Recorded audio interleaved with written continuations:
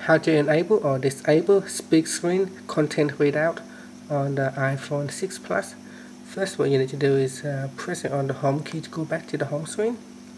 Then go into settings and settings, tap on general, then tap on accessibility and from here tap on speech then tap on speak screen uh, switch to enable it so slide to the right to enable slide to the left to disable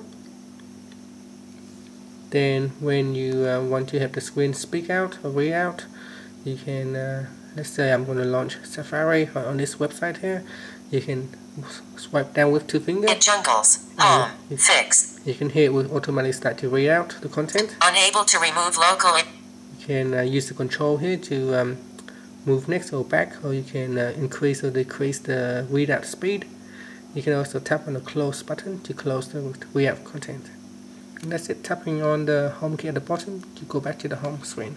Thank you for watching this video